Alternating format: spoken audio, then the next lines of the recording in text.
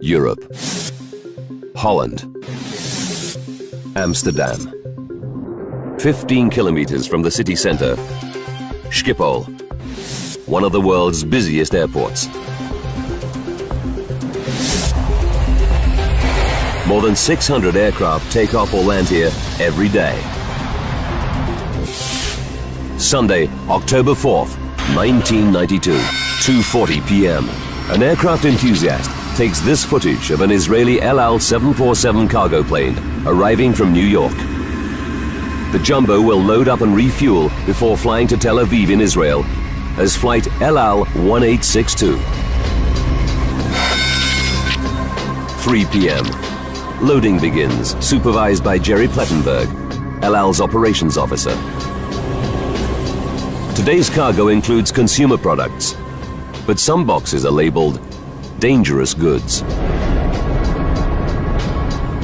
Jerry has a good idea what's inside.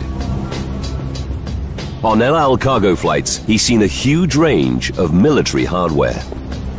Apache helicopters, radar equipment, aircraft wings, missiles, jet engines for F-16 and F-15s. All these weapons supply the Israeli military, which is locked in a 45-year-old conflict with Palestinian militants. The ongoing crisis makes El Al a top target for Arab terrorists. Seven years ago, gunmen opened fire on El Al check-in queues in Rome and Vienna, killing 19 people. The airline stays on permanent alert for more attacks. Armed security guards keep a close watch on all its planes and personnel.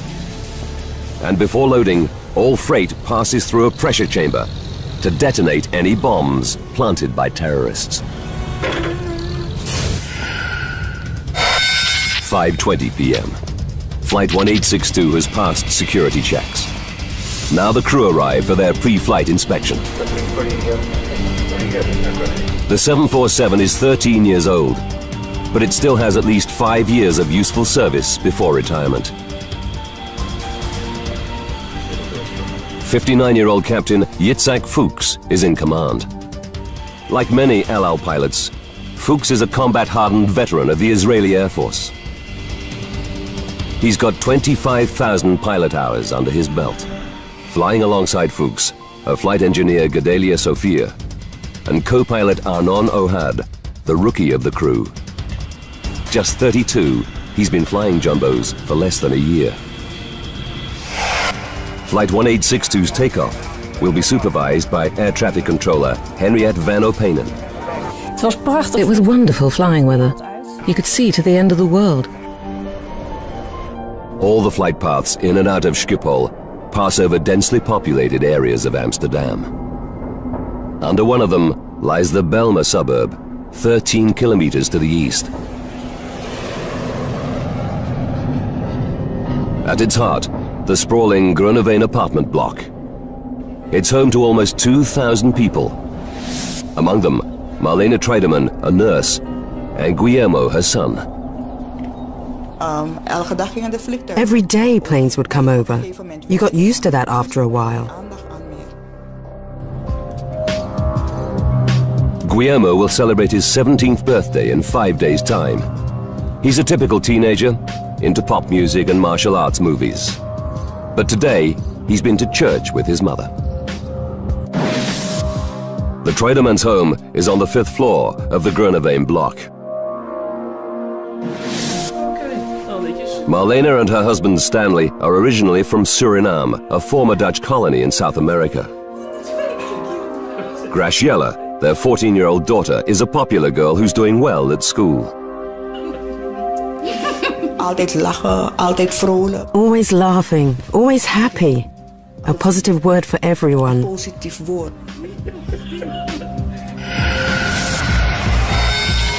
Six p.m. On runway one at Schiphol, Captain Fuchs powers up the 747's four Pratt & Whitney engines. El Al 1862, ready for taxi he hands over to his young co-pilot, Arnon Ohad, to give him more flying experience on the 747. Six minutes after takeoff, El Al 1862 heads east over Amsterdam suburbs. Uh,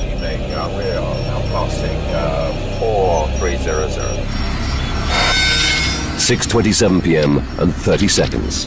The engines are still at full thrust, as the Jumbo climbs to 6,500 feet. Everything is running like clockwork. The crew settles in for the flight to Tel Aviv. In less than five hours, they'll be back on home soil with their families.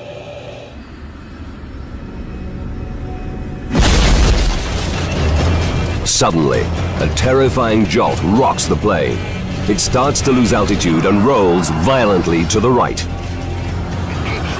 Veteran pilot Captain Fuchs grabs the controls. I've got up. He battles to stabilize the Jumbo. If he fails, the aircraft will spiral out of control. El Al 1862, Mayday, Mayday, we have an emergency. After 30 seconds, Captain Fuchs manages to wrestle the Jumbo back to steady flight. Flight engineer Sophia desperately scans his control panels to try to find out what's wrong. Seconds later, another crisis. The instruments reveal that both engines on the right wing are out of action. It's a pilot's nightmare. Captain Fuchs must get back to Schiphol for an emergency landing. Fast.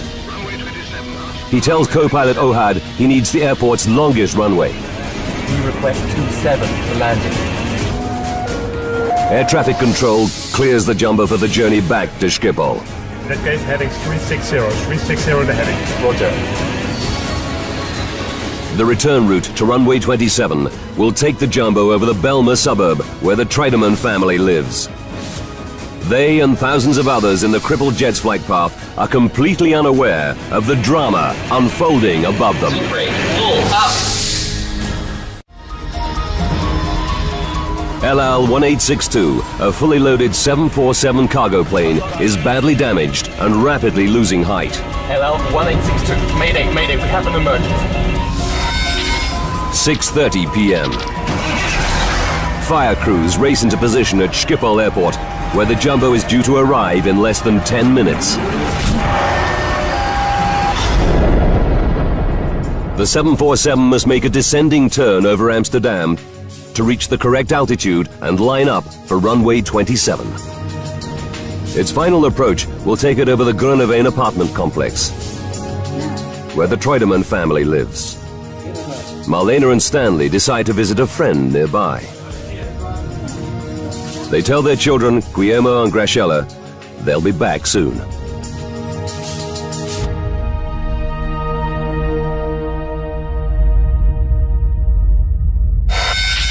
Six thirty-three p.m. and thirty-five seconds.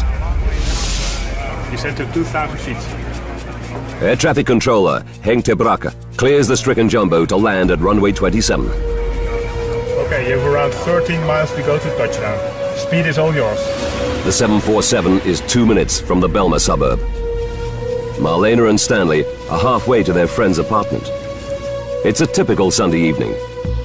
Many people are at home with their families. It was very relaxed outside.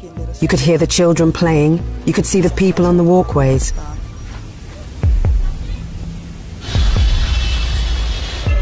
At this moment, as Captain Fuchs lifts the nose to slow the jumbo for landing,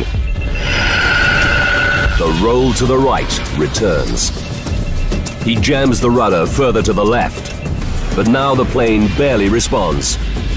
Co-pilot Ohad alerts Schiphol. Controlling problem. Controlling problem as well. The news sends a chill through ter Brakke. He immediately contacts his colleague Henriette van Openen.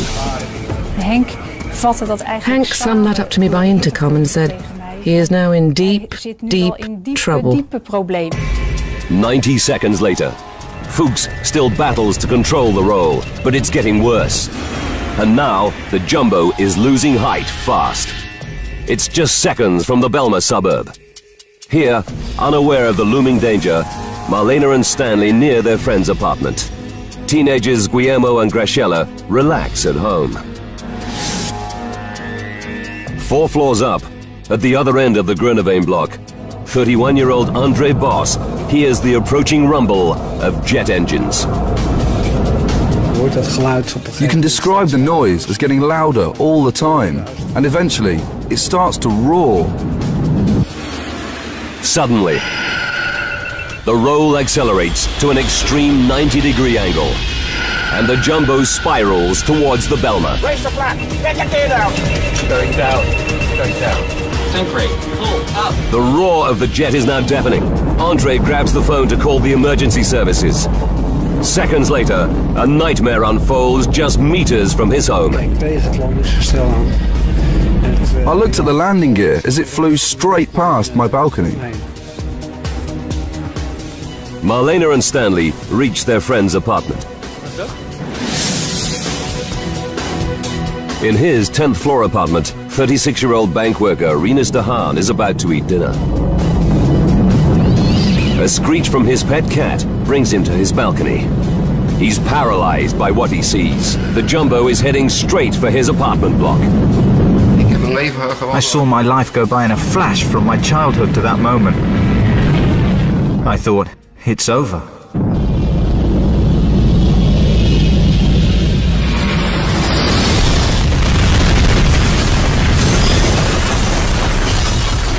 Six thirty-five p.m. and 42 seconds. El Al 1862 smashes into the sixth floor of the 11-story apartment block.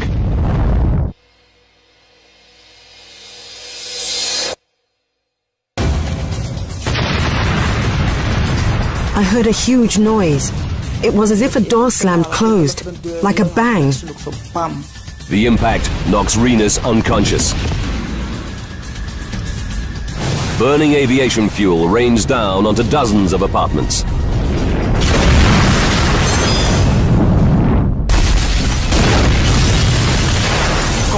The sound of the crash came from the direction of Marlena and Stanley's home, where they left their children just minutes ago.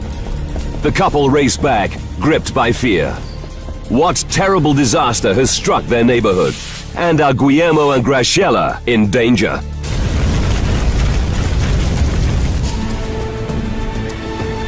El Al 1862, a 747 freighter laden with cargo, smashes into the sixth floor of an apartment block in Amsterdam.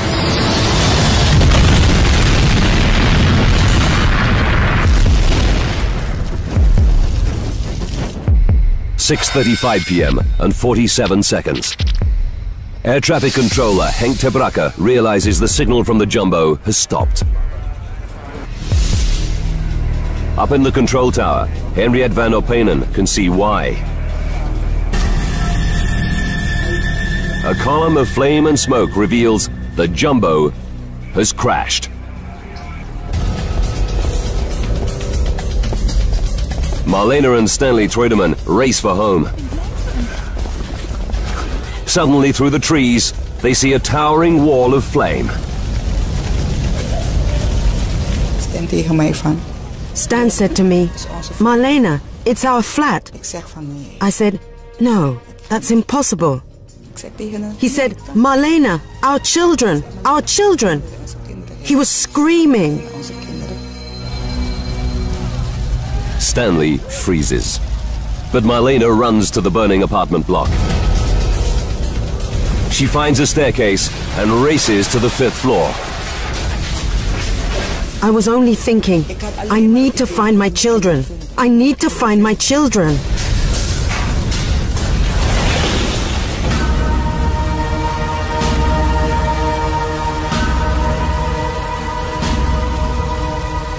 At the exact point where her home used to be, she's facing an abyss. A burning hole. Ik kan het niet geloven dat mijn I couldn't believe that my house was gone. I stood there and thought, no, I'm dreaming.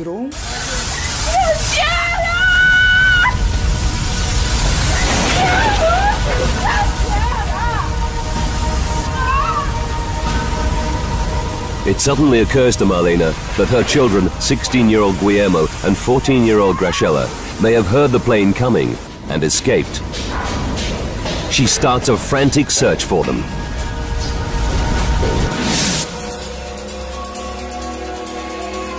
On the 10th floor, bank worker Rinus de Haan regains consciousness.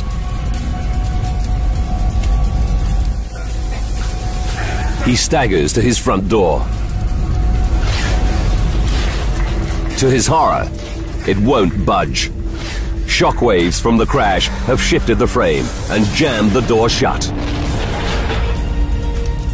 Rinus realizes he survived the crash, but now he could burn to death. There's no way out. Not even his cat can jump from the 10th floor. I thought, this is the end. I thought if I come out, it'll be a miracle. Andre Boss's apartment, 200 meters away, escaped the impact. Now he rushes to the crash site to see if he can help. What you see is the enormous heart of the fire. You see flames come out of every house. Andre knows there could be hundreds trapped or injured, and many could die before firefighters arrive. With no thought for his own safety, he smashes open doors which are jammed or locked. Entering some apartments would be suicide. There are too many flames. But in others, he rescues people who've been overcome by smoke. Stunned local people rush to the scene. Marlena Treidemann desperately questions everyone near the crash site. Have they seen her two children, Guillermo and Graciela?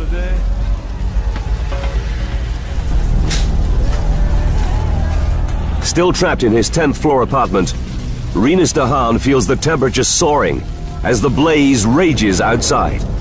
At that moment, it was 58 degrees Celsius already in my house. I was sweating pints.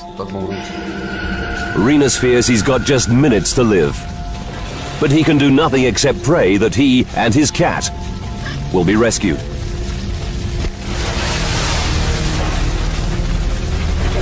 Just when he thinks he's about to pass out, neighbors break in. They rush him from the inferno in the nick of time.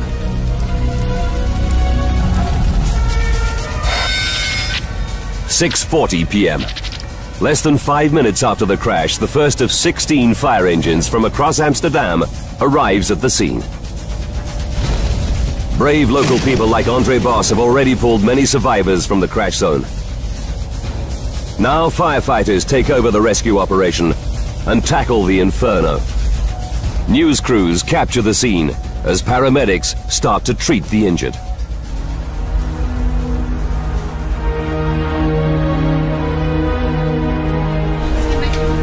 Fifty minutes after the crash, Marlena still searches for her children.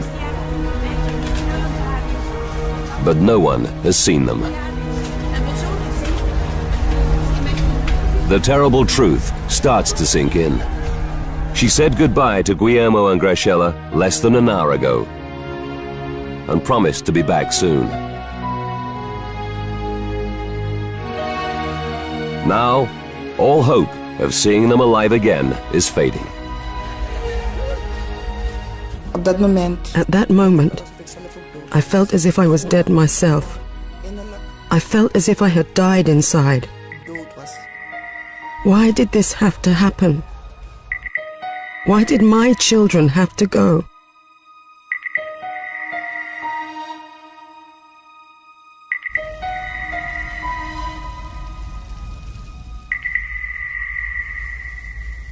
News of the disaster spreads around the world. As many as 200 may be dead tonight after the worst air disaster ever in the Netherlands. Dawn reveals a gaping hole in the building. The crash destroys 31 apartments on 11 floors. The official death toll is 43, including Captain Fuchs and his crew.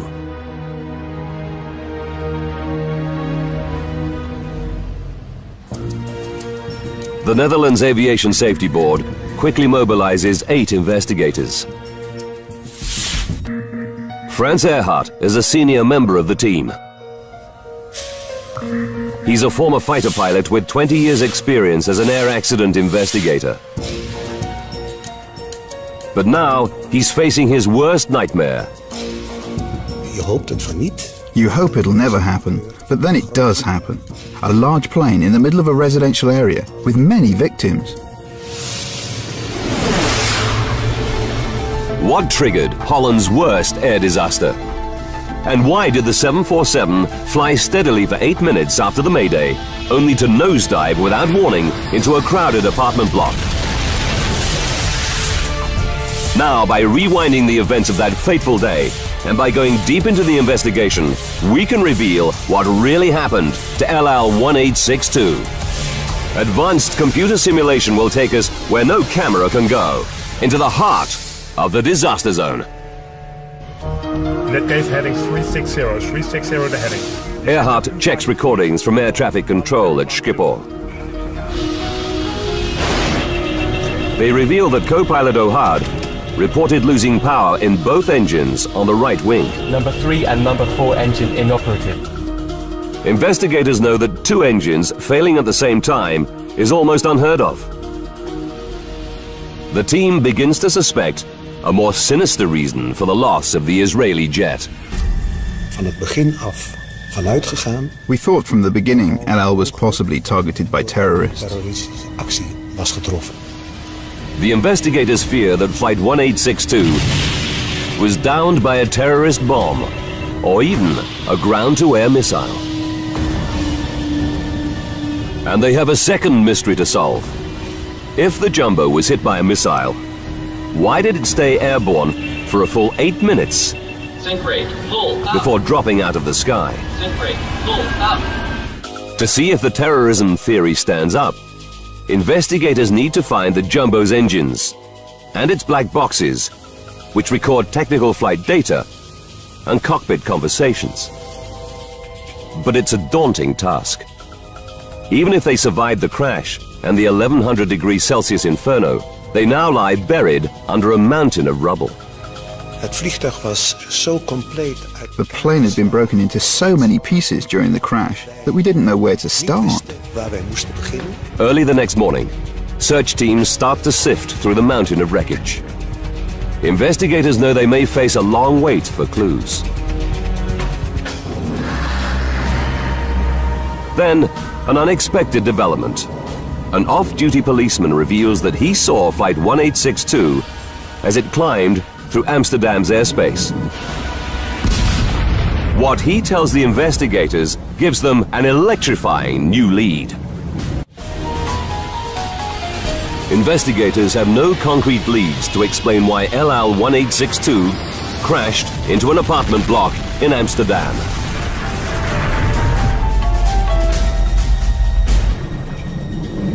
Then, Jan Kaspers, a detective with the Amsterdam police, tells them an extraordinary story. On the evening of the disaster, he and an old friend were enjoying a yacht trip on Gooimeer Lake, 10 kilometers east of Amsterdam. Their boat was moored right beneath El Al 1862's flight path from Schiphol Airport. At 6.27 p.m., they're preparing dinner.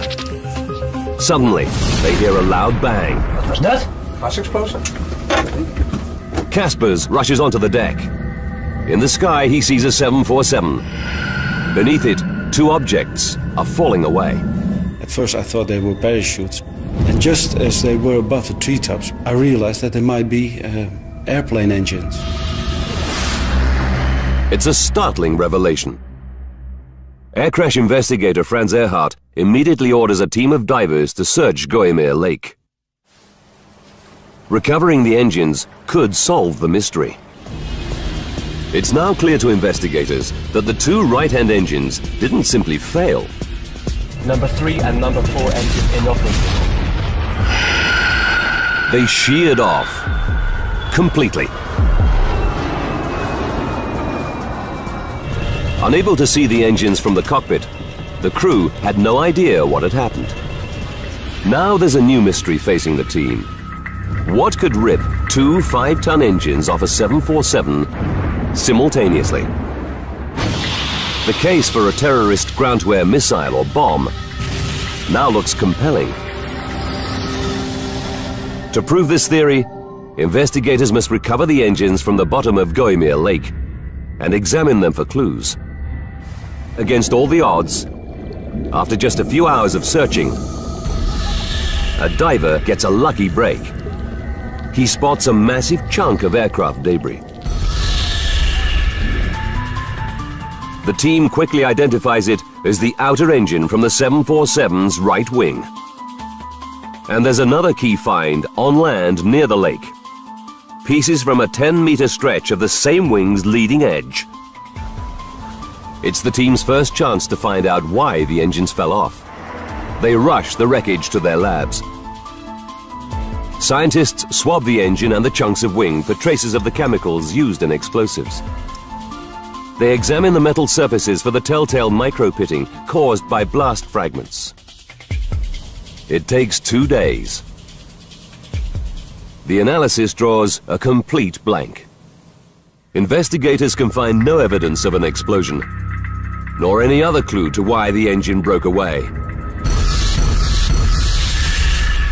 It's a dead end. Now the investigators' only chance to solve the mystery is to find the 747's inner engine in the hope that it holds the key. Or to locate one of the plane's black box flight recorders at the crash site. The Dutch Navy joins the search for the inner engine. It deploys two specialized salvage vessels, sonar, and more divers. But after two more days, they find nothing. The investigators are worried. With every passing hour, crucial evidence is slipping away. Het water zal echt corrosie. The water would start corroding the parts, and because of that, we were keen to find it as soon as possible. De motor terug te vinden. The news is equally bleak at the crash site. Search teams can find no trace of either of the 747's critical black boxes.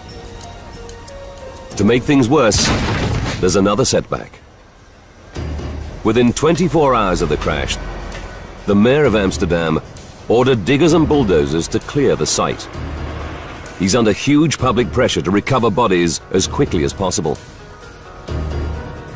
Earhart and his team are powerless. Their only option is to follow the debris to its new home, an Amsterdam garbage dump.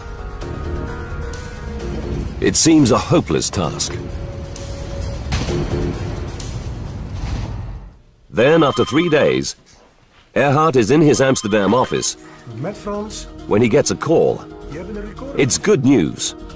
One of his team has found the 747's flight data recorder. We waren dolblij. We were very happy. At last we could take a step forward in our investigation. This black box records all the aircraft's critical technical data. It could prove the breakthrough they so desperately need. But when they open it, it's a terrible letdown. The tape inside is broken in four places. And data from the plane's critical final two and a half minutes is indecipherable. They send the recorder to specialists in Washington, D.C. and the USA. It's a long shot, but it's their only hope. Eleven days after the crash, the investigation team is at rock bottom. But just as investigators are beginning to despair, they hit the jackpot. A diver finds the inner engine, half buried by mud. It's still attached to the mounting that fixed it to the wing.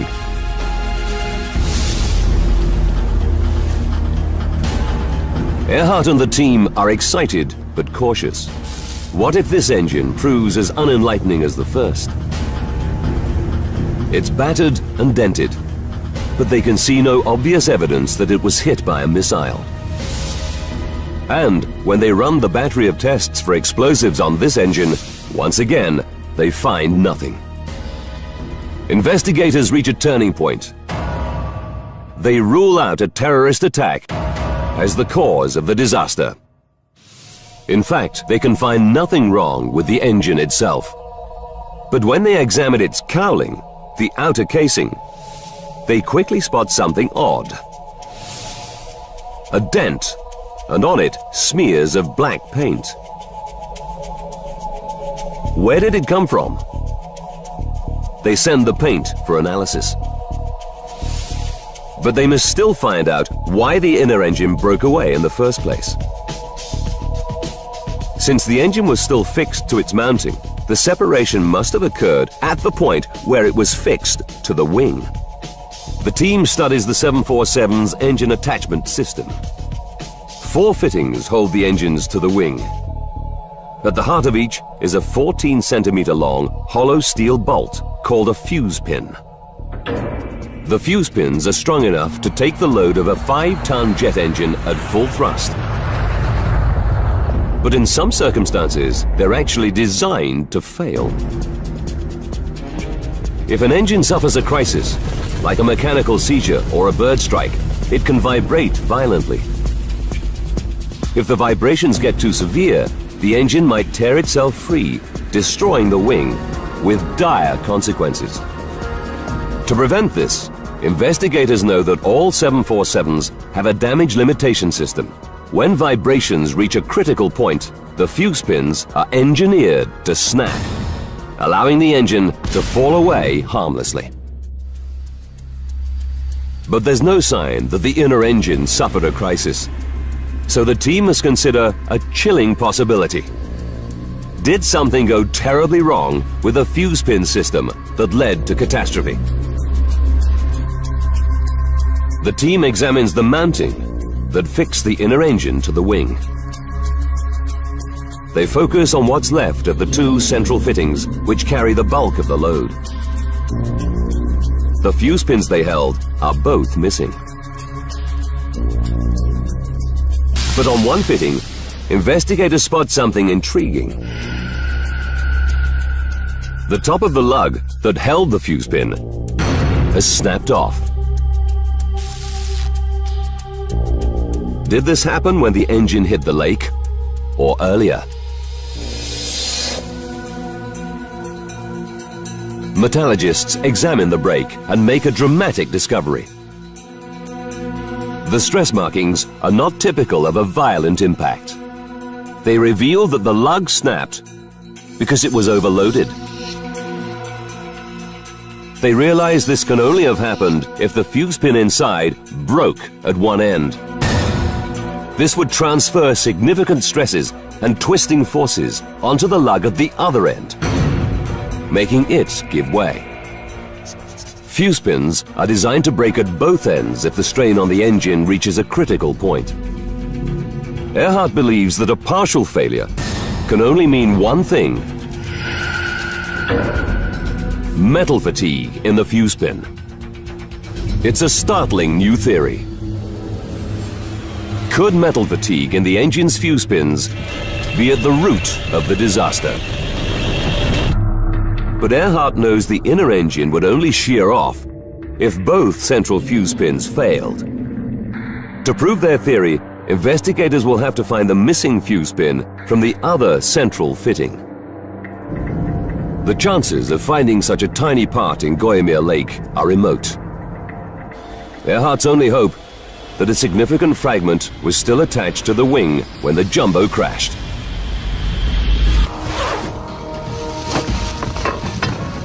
He deploys more than 20 workers to search the garbage dump where crash debris now lies. No one holds out much hope. The missing fuse pin was only 14 centimeters long and may have shattered on impact. Looking for the essential parts of the wing mounting was like looking for a needle in a haystack. Forty-eight hours into the search, they have still found nothing.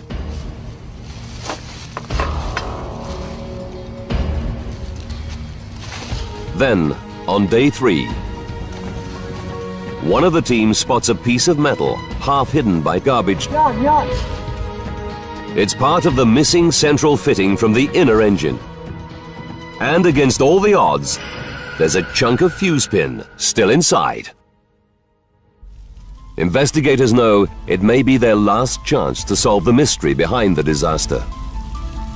They begin scanning the fragment under an electron microscope as soon as it arrives from the rubbish dump.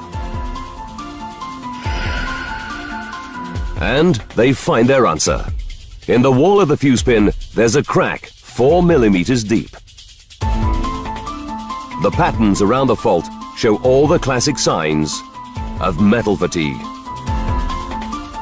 The flaw started along machining grooves in the hollow pin's central bore. It's the breakthrough the team have worked so hard to reach. They already know that metal fatigue made one of the inner engine's two critical central fuse pins fail. Now, they have indisputable evidence that the other central fuse pin was also defective. With every flight, the microscopic cracks in the inner engine's fuse pins got bigger and bigger. On October 4th, 1992, they reached a critical point. At 6,500 feet, with the engine at full thrust, the faulty fuse pins fail.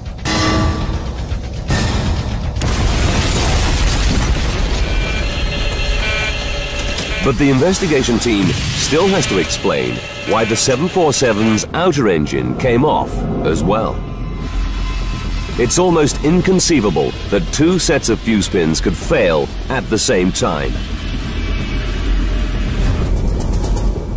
Then they receive the test results on paint smears found on the inner engine's cowling. The smears are an exact match for the paint used on the central fan blade spinner of the outer engine.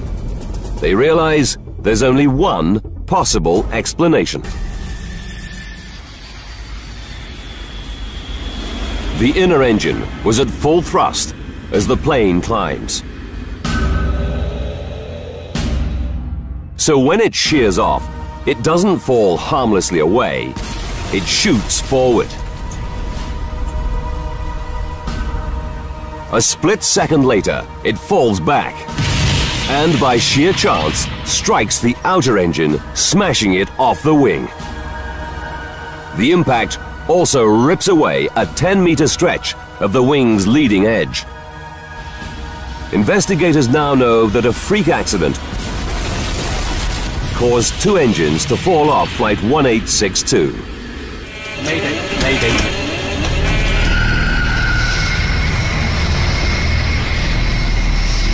They alert the manufacturer, Boeing. It immediately instructs airlines operating the 1,000 747s around the world to inspect all fuse pins and replace any that are faulty. But the traumatized residents of the Bijlmer are desperate for the answer to another major mystery. Why the plane crashed. A 747 should be perfectly capable of flying on two engines. So what made Flight 1862 suddenly nosedive just minutes from an emergency landing at Schiphol Airport? Raise the flap! Get the gear down! Investigators study the section of wing recovered from Gooimeer Lake. It's clear this damage would have reduced the plane's lift. They also realize that key flight controls lost hydraulic power when the engines broke away. But if this damage was severe enough to down the plane, how did Captain Fuchs keep it flying steadily for another eight minutes? It's a paradox. Then, 18 days after the crash, the team gets some good news. Experts in the USA have retrieved the information from the damaged flight data recorder. The technical readings it contains prove to be the final piece of the puzzle they reveal in chilling detail what finally downed Flight 1862.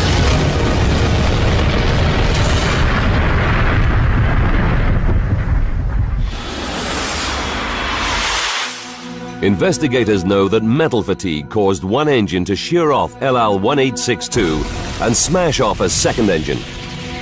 The incident also destroyed a section of the right wing's leading edge and disabled key controls. Mayday, Mayday, we have an emergency. But the damage was clearly not severe enough to down the plane immediately. Why did it suddenly spiral out of control a full eight minutes after the Mayday call?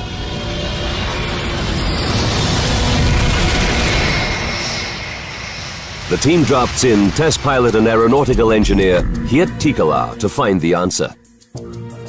He analyzes thousands of technical readings from the 747's flight data recorder. After eight months of hard work, Tichelaar has a dramatic new insight into what happened to Flight 1862. For the first time, he's able to explain the complex relationship between the loss of the engines, the mangled wing, and the damaged controls. He discovers that although the crippled plane could still fly, a crash was inevitable as soon as it tried to land. De crew had geen keuze. The crew didn't have a choice. They could do nothing else. They were doomed to crash. The flight data analysis finally reveals why El Al-1862 nosedived without warning after pilots kept the jet airborne for a full eight minutes. And how hundreds of people on the ground were left seconds from disaster. Eight minutes to disaster. Defective fuse pins holding the inner engine to the wing snap, causing the plane to lose not one, but two engines. This catastrophe also damages a 10 meter stretch of the wing's leading edge, causing a major disruption of airflow over it. This reduces lift on the right hand side and makes the 747 roll to the right. Captain Fuchs has also lost two hydraulic systems, controlling key anti-roll devices. He only manages to wrestle the Jumbo back to level flight by pushing his remaining controls to the limit. The flight data analysis reveals that his current airspeed of 280 knots is the key. It's just high enough to get sufficient lift out of the right wing to keep them aloft. 39 seconds to go. Five kilometers from the Bijlmer apartment complex. Now Captain Fuchs lifts the Jumbo's nose to slow the plane down for landing. Unaware that this routine procedure will have fatal consequences. The flight data reveals that this change in angle worsens the disruption in airflow over the mangled right wing. The result is a further loss of lift on this side of the plane, and it starts to roll again. Captain Fuchs struggles to pull it level. But his airspeed has now dropped below 260 knots, reducing lift even more. This time, his damaged controls cannot save him controlling problem. 30 seconds to disaster. As the roll and loss of lift reach a critical point, the 338-ton jumbo plummets earthward. Get the gear down! 1862 going down. El Al-1862 nosedives from 2,500 feet.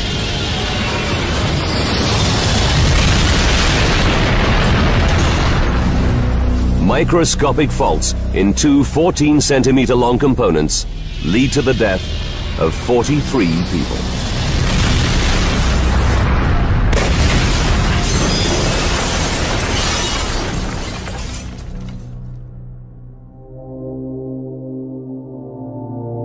Rescue workers found the bodies of 16-year-old Guillermo and 14-year-old Graciela the morning after the crash just meters from where their home once stood.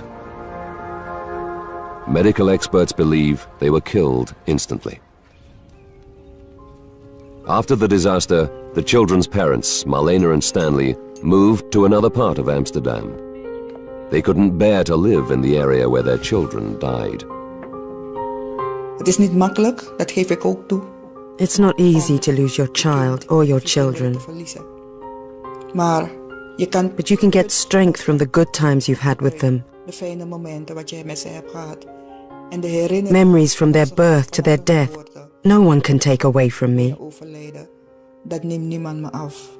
En ik weet dat ze hier zijn. Ik voel gewoon. I know they are here. I feel their presence. A good atmosphere.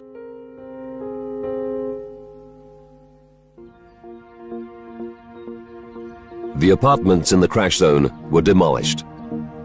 but their foundations remain. Nearby is a permanent memorial to the victims.